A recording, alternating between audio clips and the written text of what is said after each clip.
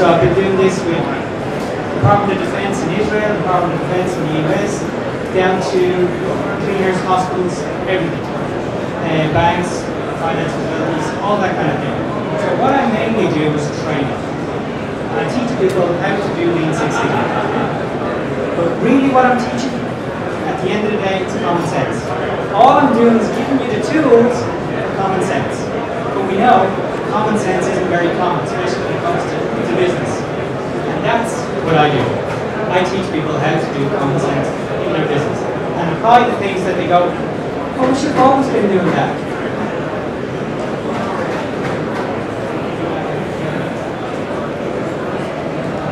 Lean Six Sigma is about the belts. You know, that's one of the things. You get your accredited certification and you get the belts. You look at the masses of people getting the yellow belt and sort of get them trained up and then we go to the green belt and then we go to the black. Black is when you really get into your maths. You've got to really like maths to do black belt, and especially statistics. And then you get into your master black belt. Your master black belt, those projects themselves, they're mainly helping the organization to focus on where we're going with Lean. Why does Lean, how does Lean actually change our business? What's it there for?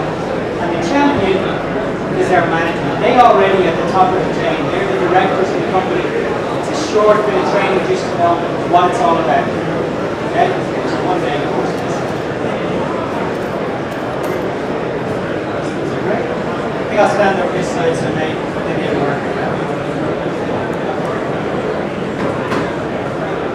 So within the organization, you have all the different divisions, all the different people need to get involved. Therese earlier mentioned about leaders and leaders needing to go and walk on the shop floor. Some companies, say if the managers haven't washed their hands three to five times a day, they haven't managed. And that's not a cleanliness thing. It's about getting in and seeing what people are doing and learning what they're doing the more we learn what people do. I was involved with a company in Scotland, and the managers there, I got them all, senior managers, I got them to spend 15 minutes down on the shop floor, just to get out. And it was like an epiphany it happened. They came back saying they'd learned more in 15 minutes than they had in the whole six years. They were just overwhelmed. That was a sad story too, because there's only 150 people in the company, and one of the people asked the manager, was he from head office, which hadn't seen him in six years. And he was the operations manager. So you can see how our businesses can do things because we've always done them that way. A lot of our processes are because we've always done them that way. You know, I was working with another big company in the UK, and we found a process that they could stop doing because they didn't have to do it anymore. The other argument is some of the processes we don't need to do. But we looked at this process, and it could have been stopped in 1960. That's how long they've been doing it, and they didn't have to do it. It was costing the company 45 million pounds sterling a year to run that process. And they could have stopped no, over 60 years ago. That's what Lean is about. It's about looking at what we do and seeing, is it the way, is it a better way? Do we still need do things that way? It's about involving everybody. Every part of the organization needs to be involved. The thing about Lean Six Sigma, it is hard work. It's not a silver bullet. You're not going to come in and go, oh, if I Lean, that's great, everything's going to be all, all good. It involves hard work and it involves much, many things that we have to learn. But the big thing, it's rewarding. It's rewarding. Lean Six Sigma should never, ever, ever be a cost to an organization. It's rewarding. It always brings about a cost benefit. In our staff, in our people, I say cost benefit, that's not the reason we do Lean Six Sigma. If you do Lean Six Sigma because you want to save costs, the chances are you're going to fail. What Lean Six Sigma really is about, it's about changing culture. It's, culture change. It's changing how we think, how we do things. How many people have seen the Matrix movie? Like the Matrix movie? Okay. What was that? Morpheus came along with two pills. He had a red pill and a blue pill. Okay? Correct me if I get it wrong. The blue pill meant that you go back to your life in ignorance and see nothing as it was. You don't see the world in a real way. You go back and see the world as you perceive it to be. There's no change. Take the red pill and you'll never be the same again. You'll see the world in completely different ways than you've ever seen it before.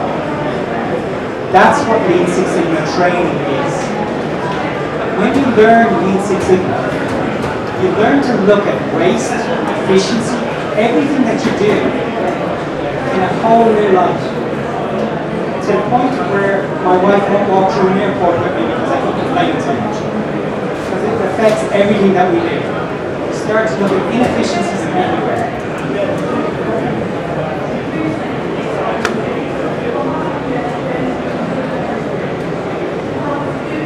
Okay. But said it's not a silver bullet, it's, it's, been around, it's not new. It's been around a long time. Anyone know who these guys are? Shewhart, Deming? Some of the speakers do, yeah. Shewhart, if your kids are in leaving cert, they've been doing the Shewhart principle in statistics. So that's Shewhart the father of modern statistics, but he's also the first guy that ever came up with the whole idea of tolerances standards, quality control. They were all his ideas. He went on loan to the UK government to help them develop the British standard. That kind of standards where all the standards came from and our ISO and all that. And the other guy there, Deming, was actually his apprentice. They worked together. Deming was his apprentice. And together, they developed a process called Plan, Do, Check, Act. If you're involved in any of the new things like Agile and Scrum Master and all those things, you'll find that same phrase, plan, do, check, act. That same thing comes up over and over again. Because that is the bedrock, that is the basis of where we started from. So if you're looking for to build a good foundation on something, you need a bedrock. Plan, do, check, act is our bedrock. That's where we started.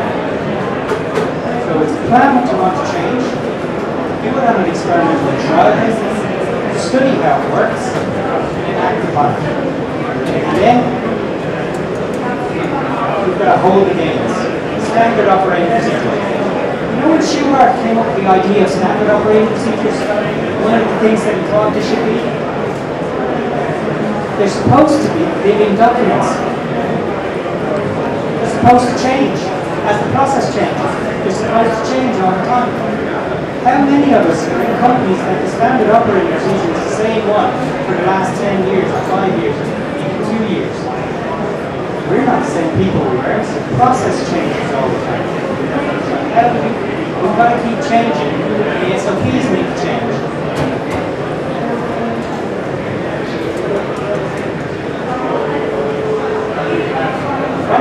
Do, act. forget The do check acts, we ended up, we then developed our DMAIC. Okay? You've heard DMAIC, Six Sigma principles and all that kind of stuff. DMAIC is define, define what it is we want to do. This is our foundation. Remember I PDCA? What's that? That's our bedrock. This is our foundation. And put everything else on. Define what it is we want to fix. Measure it if you cannot measure something, you will never improve it. Literally, everything can be measured. Everything is a process. If you're going to pub, you can measure that. You put it in a graph, you end up with a bell curve. A nice, neat bell curve because you're going to the pub. Coming home from the pub, it might be slightly different bell curve, but you can still measure it. Everything is measurable.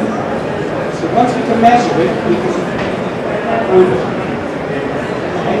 So we analyze those measurements and then we improve it. The improve phase of any project should always be the shortest, shortest possible part. Ever been involved in those long, drawn out implementations where you just buy-in is completely gone? So the whole principle of Lean Six Sigma is do the work beforehand, we implement quick, short, sharp implementations, and we implement our controls. The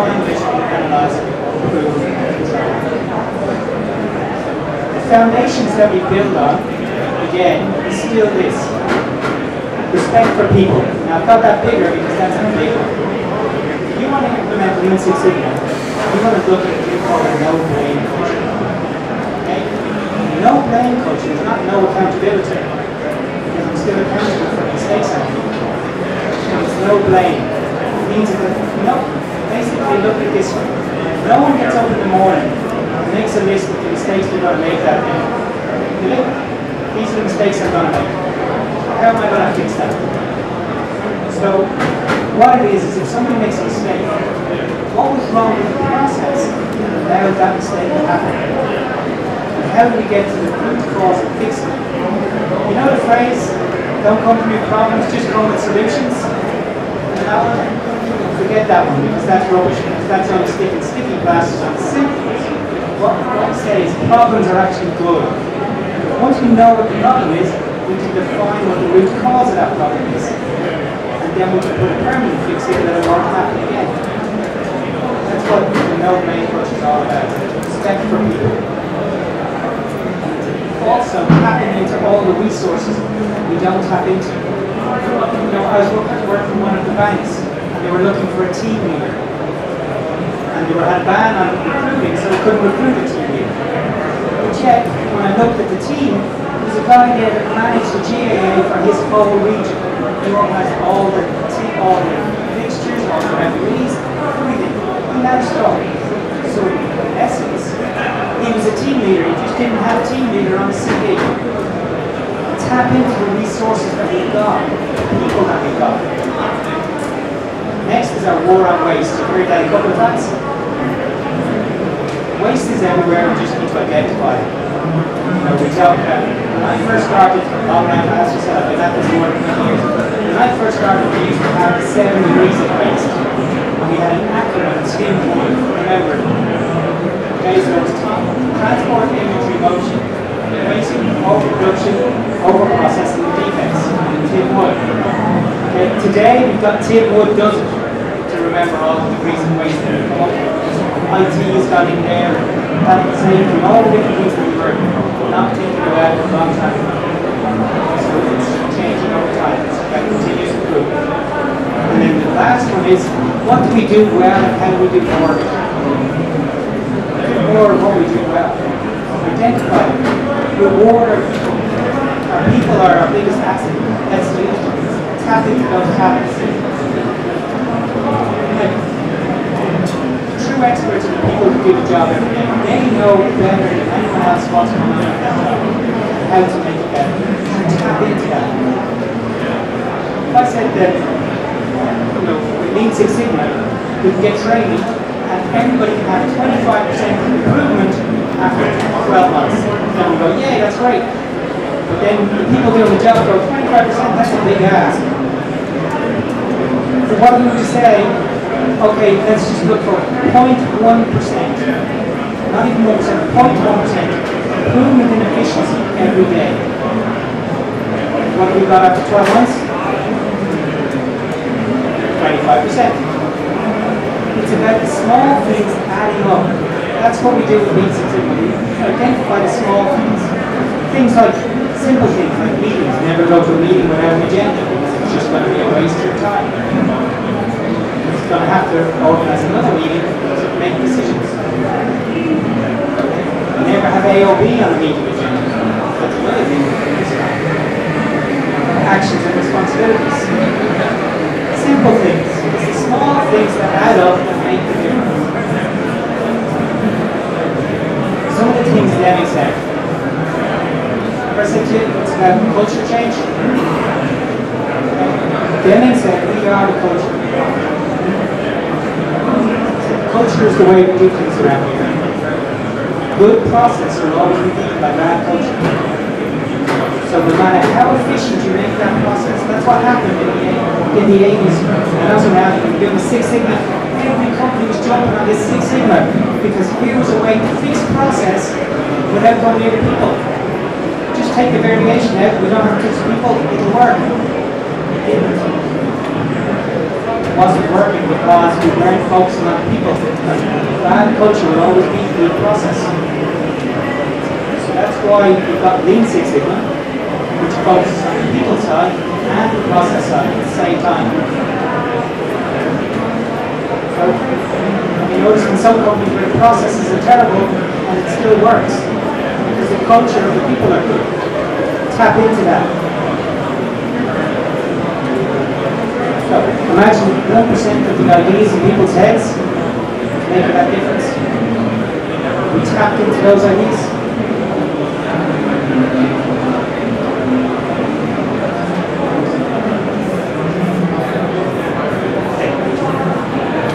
So, thank you.